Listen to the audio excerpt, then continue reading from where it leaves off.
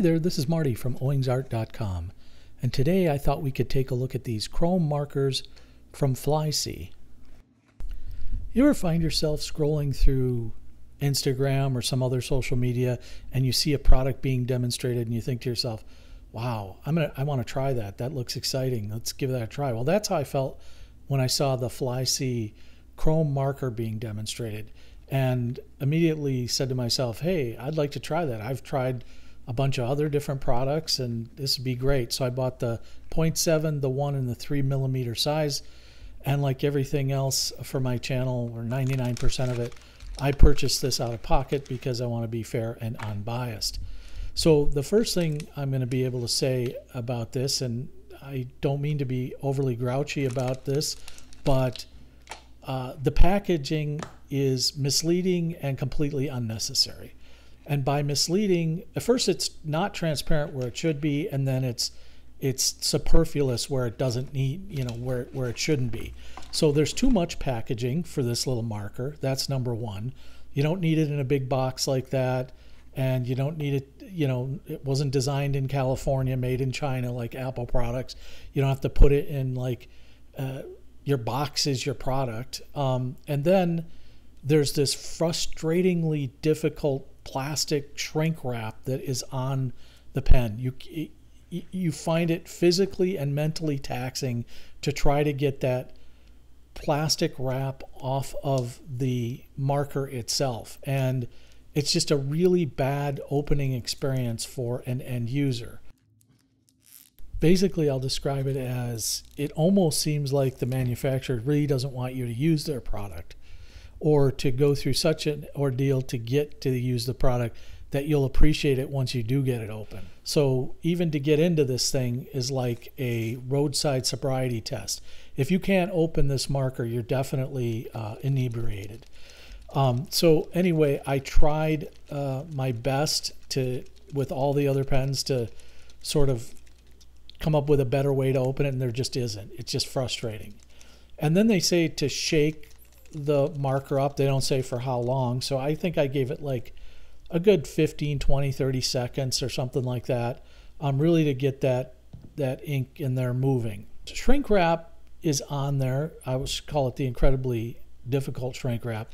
If it's on there to like prevent air getting at the nib or something, then why is the nib designed with the spring-loaded action to sort of get the ink to flow? Which, by the way, they don't tell you how long it takes, so it and it took an inordinate amount of time. What did I do wrong? Is there like a membrane in there that has to break a seal? I, I don't know. I just there's no pop, no click, nothing. So I just press down on this in the hopes uh, that at some point I'll see some liquid start to come down out of this marker. And there I finally started to see a little bit of liquid seeping down into the nib uh, of this marker. But again, uh, that took a long time and was frustrating. Now, first line across, wet, it comes out really incredibly shiny. Now I'm using a, a toned paper here so you can, maybe it shows up a little better, that was my thinking, but I don't think so. Uh, once it dries, it, it, it, still has a certain shine to it, but not a um, not an overwhelmingly like obviously like not in the way it's advertised. And and definitely it's scratchy and it probably is made that way so that the nib uh, remains strong. I, am not sure but um, you know i'd be interested in that. So and i thought that the flow would be better so I, I, I pressed on the nib again but the flow just doesn't get better. It's just one consistency um, so here you can kind of see the lines and we'll get up close and personal with a, a little bit of this uh, work as we go along here in the video. But so really frustrating is the packaging, which is superfluous and unnecessary uh, amount of packaging. Wasting that time and effort on that should all that should go back into the making the product better. And then the incredibly tough shrink wrap on this, which makes no sense. Now here you can sort of see um, the nib with the liquid that's flowed down in it, and you can you get a pretty good look at at that. And the nib is like it, it is tough. I'll give them that. It's a nice strong nib. Doesn't seem to be uh, you know, it, it doesn't get weaker as you press down. So that's good. You can, there's a distinct scratchy noise when you use this um, particular nib, and you can just kind of hear it. And, and, and, it's the same with the others. Uh, and and also there's an odor to these markers, and you know there's nothing in here about them being non-toxic. So, I mean, I know chromium is a a carcinogen, right? It's a cancer-causing agent, so that's for sure. So maybe you, you have a warning on your product label or something like that. I, I don't know. I don't know what's in it because they're not transparent about what these are made of. So that's another thing uh, that lacking transparency. I, I had to put the markers down and come back um, later because of the, the, the smell. It was just yeah, it's it's sort of beyond a marker smell for me, and maybe maybe that's just me, but I you know like use in a well ventilated area is what I would say. And definitely don't sniff the tips of these markers. Don't don't do that. So here you can sort of see the lines going down and you know it it's not as advertised, but it's not terrible either. I mean, you can definitely see sort of the reflectiveness and when I hold up the the paper in a minute here you'll you'll be able to see kind of at an angle that there's uh, there is a reflectiveness. Not a mirror finish like in the advertisement, but it's it's it's not horrible either. So you can kind of see the shine there. So we'll try some different sizes here. I wanted to give each one of these sizes a different shot, but every time I opened it, I had to re-experience the uh, disappointment of the packaging, and then the the smaller the markers got, the harder it was to sort of get this plastic wrap off of the off of the marker. I tried twisting, pulling, you know, try to use your nail on a corner. It's just it's it's no good, man. It's just not not how to treat a customer or an end user. So, you know, I'm usually you guys know how I'm usually upbeat about products and you know, if you're going to take the time to make it, I'm probably going to have some nice things to say about it, but I just ah I found this incredibly frustrating to use. And I just hopefully save you some money before you spend it on a product that hasn't quite found itself yet. I really think a couple of things. You know, I'll just highlight while we look at this um, this particular pen. Firstly, you know, change the packaging. You know, change the packaging and don't make it so it's just so wasteful. It's and unnecessary. I mean, sure, if you're trying to hit the short-term market and then you're going to go out of business in a year after you make a few bucks with your product, sure, fine. But if you want to build a long-term loyal customer base, this is not how to do it. Don't make the the initial experience with your product so frustrating and and discouraging. I mean, yeah. Okay. So anyway, again, to the shaking of the marker and the pressing of the nib uh, again, I don't know if there's a membrane in there or a seal that needs to be broken. Certainly, there's no indication of that. It's just like you put the nib in there and press down on the spring-loaded nib, and eventually, you hope the liquid will will come down in in the pen. See nothing there. Nope. Shake it like a Polaroid picture. Nothing's coming out. Um, so yeah, I went at this for quite some time. Yeah, I won't bore you with the rest.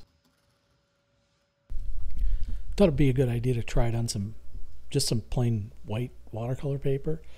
So here I'm just going to try some text, a little bit of text, and I really want to compare this to a Sharpie, which I use extensively, a silver Sharpie. This is just a plain old silver Sharpie. Um, and lo and behold, it's actually a bit better, in my opinion, than this marker. So I'm going to hold this up here, kind of give you an angled shot at this. Um, certainly it's darker and maybe not quite as reflective, but it still does have some reflective property in it. So you can sort of see that um, as the paper bends not maybe not as chrome like, but I think maybe the trade offs are better because A, the Sharpie doesn't smell like it's killing me, and B, um, you know, very easy product to use. It's been around for a long time. So, not going to be disappointed using a silver Sharpie at all. Um, so, again, here having trouble with some of the liquid coming down in this particular pen, and then you can see how how light it is in comparison, but then it does possess slightly more reflectivity, or I'd say it's a slightly better chrome look. That's a real tight look at the markers in comparison to a regular Sharpie marker. So you can see they're reflective, but also reflective with the Sharpie. So um, you know, maybe slightly more with the Flysea, but honestly, not enough for the expense. I mean, they weren't cheap, and you know, for what you're getting, I'd say stick with Sharpie. You know, so I can't recommend the Flysea. If I was going to give advice to Flysea to sort of improve their product, uh, number one, get rid of the superfluous, unnecessary, and wasteful packaging. Number two, get rid of the absolutely frustratingly difficult shrink wrap uh, that they put around each pen uh, that it's new. Improve the time that the liquid gets into the nib so that you're able to use the marker in under you know three or four minutes um, because time is money and it just takes too long uh, to, to use the actual marker it's like very difficult uh, you open a sharpie and it works instantly also, be more transparent about what's in your product and the dangers of it. I'm absolutely 100% sure that um, it can't be good. If you're not listing it, then I'm going to assume that there's a reason you're trying to hide what's in the product from from the consumer. So again, I cannot recommend these. As a matter of fact, I'm going to give it a 100% avoid purchasing these. Do not purchase this product until it's improved and um, they do a better job with transparency. There's just too many alternate products that are better made, more thoughtful, and more transparent on the market.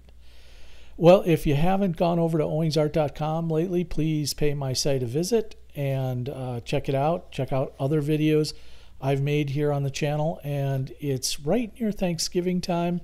So, for my folks uh, and viewers and subscribers in the United States, happy Thanksgiving to all of you. Thank you for supporting the channel.